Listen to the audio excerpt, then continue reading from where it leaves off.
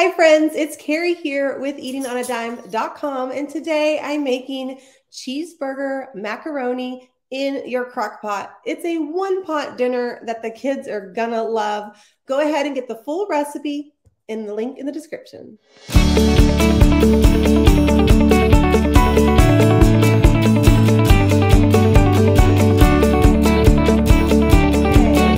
Hey guys, my name is Carrie with eatingonadime.com. And today we are going to make cheeseburger macaroni in your crock pot. It's a one pot dinner, meaning the noodles even cook in your crock pot. So this um, is one recipe you're going to need to make. Let's get cooking. So before I hopped on the video, I had already browned up two pounds of ground beef in my slow cooker. I have a like a five in one digital slow cooker, which means you can saute in here. So I did that.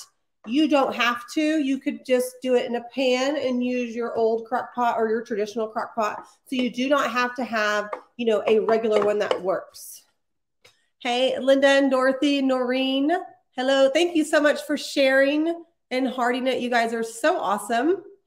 Okay. I want to make sure I'm not missing any questions. I like to take question breaks. Now, if you want to save some money, you can do ground turkey in here. Ground turkey tends to be cheaper than ground beef. Or if your family's not a big fan of ground turkey, you can do half ground turkey, half ground beef in your slow cooker. When you cook it together, the turkey takes on the flavor of the beef and your family won't even know. So you can save a little bit of money by, but you're still having ground beef. I do that a lot in these meals um, when I'm making tacos or when I'm making chili. My family doesn't really like all ground turkey, but if I do half and half, there's no complaints. So take it from the pro, right? Hold okay.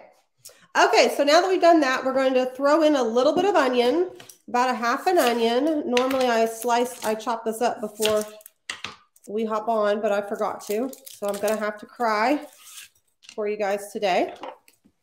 Move over.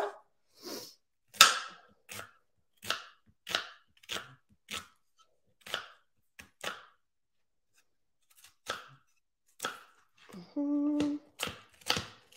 Now, some people are really smart and they just buy frozen diced onions. That's a smart idea too. We also have this post like that if you want to go to on how to chop an onion, super simple and easy where you don't have those big, large pieces.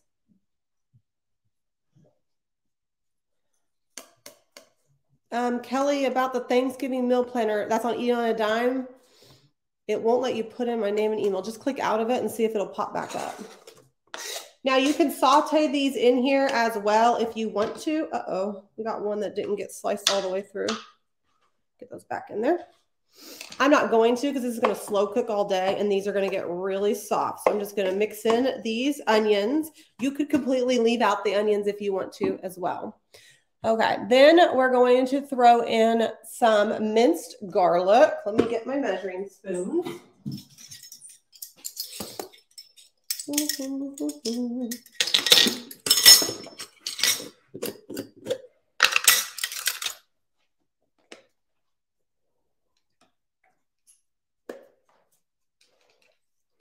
Okay, now I'm going to do a little bit more than what the recipe calls because I'm actually doing one and a half times this recipe um, because my family loves it so much they devour it.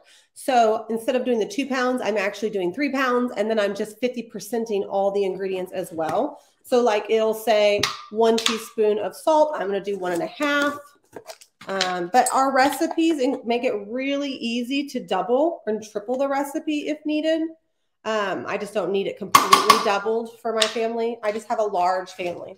Um, but our recipes are super easy to double and triple. And this can feed a crowd. It's a great way to stretch the budget. budget. So that was pepper. So just minced garlic, salt, and pepper. So super easy seasonings. Then I'm going to throw in four cups of beef broth. Now I'm doing, uh, sometimes we talk about when should you spend money on broth and when you shouldn't. I really like the broth in this recipe, having the noodles cooked in there because we're cooking the noodles in the crock pot that's really going to bump up the flavor in this recipe using the broth. However, if you want to save some money, you can do half and half, half two cups of broth and two cups of water. But I would definitely use some broth in this recipe. It'll still be good. It just won't be as packed full of flavor. Okay, I forgot my Worcestershire sauce, so give me just a second. Okay, so I'm not, I couldn't find it just because when I'm on a video, for some reason, I can never find what I need, right? So I'm going to drizzle in some steak sauce instead of Worcestershire. The original recipe calls for Worcestershire, Worcestershire, Worcestershire sauce. But again, remember how we're talked about how we're going to make this different ways. Steak sauce is delicious in this recipe because you it gives you the tanginess, the same thing that a Worcestershire sauce would do. Okay. Okay, so I mixed all that in. We're going to cover this and cook this on low. That's it, right? We're going to let those onions soften and all the flavors combined.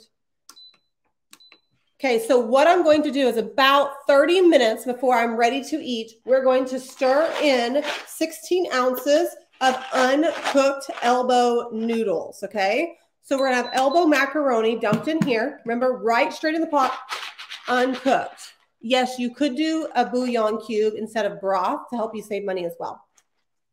So we're gonna dump this in there, let it cook for about 20 to 30 minutes. I normally turn it on high.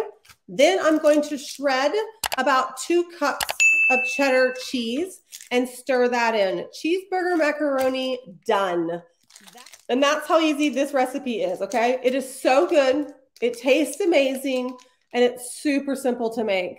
Um, this really only needs just a couple hours. Um, you can head to work, come home, throw in your pasta, shred your cheese. Now, you could do pre shredded cheese to save time, but I highly recommend you take the few minutes to shred your cheese. The reason is it melts so much better when you hand shred it. And honestly, any kid can do this in the kitchen. I actually have a couple kids who love doing this and they do it every time for me at night. But think about it. I've already made the mess. I'm going to clean it up. And tonight, the only mess I'll have is shredding the cheese. Now, okay, let's talk about how we can make this recipe completely for different. Remember, you can get the full recipe at eatingonadime.com. Um, and if you can't find it, just search cheeseburger macaroni. I also have the link in the description below, but cheeseburger macaroni, and you can get um, You'll also find our skillet version. Okay, so remember, this is just a regular cheeseburger macaroni. Let's talk about how we can make it different. If you want to give me some ideas, drop them below in the comments. But what I would do is number one, you could do steak sauce like I did. Add some steak sauce instead of Worcestershire sauce. Super easy. You could do like a steak sauce, a Heinz 57 sauce. Those would be delicious you can throw in broccoli or green beans or peas at the end. So when you throw in your macaroni, go ahead and throw in some frozen broccoli. Go ahead and throw in your frozen peas. Or, or drain some green beans, a canned green beans, and throw it in. And you'll have um, a delicious all in one casserole. Another idea is to swap out your cheese. Goodbye, cheddar cheese. Let's do some Monterey Jack, right? Um, another idea is to throw in taco seasoning would be delicious. Maybe even add some bell peppers and kind of make a beef fajita pasta. You could change out your noodles. Penne would be good. Rice would be good. So, for example, if you're going to do rice, what I love to do is use minute rice in my crock pot. It'll take about 20 to 30 minutes, but you're going to need one to one. So, since we did four cups of broth. We need a cup to cook everything. So you could throw in probably two cups of rice in there uncooked, and you would have a beef and rice. So the options are unlimited on what you can make with this. You could take out a cup of broth and you could add in some uh, tomato sauce. You could throw in salsa. You could throw in a can of Rotel. Yes, a gluten free pasta works great. I've done this with gluten free pasta as well. It works amazing. Protein pasta works great in here as well. And also, um, like red lentil pasta works great as well. Now, if you want to cook your pasta outside of your crock pot, some people like to do that. They want to cook it on the stove, drain it, and rinse it. Totally okay. If you're going to do that, just lower your broth to two cups cook this separately, and then stir it in. Either way works amazing. Yes, you could throw in mushrooms, black olives. You could throw in Italian seasonings and pepperonis and do half sausage, and you had a pizza macaroni. Like literally, you can make your favorite dish with this simple recipe. So if you do not have this recipe saved, if you haven't pinned it, if you do not have it printed out, you got to do it today because this is one recipe that you can make any night of the week. So, okay, I'm off my soapbox. No excuses that you don't have anything to make for dinner tonight because I've just given you the world's easiest recipe um, that you can make any night of the week. Drop the word recipe below and I'll send it to you. You guys have a fabulous day. I will see you next time in my kitchen. Bye, friends.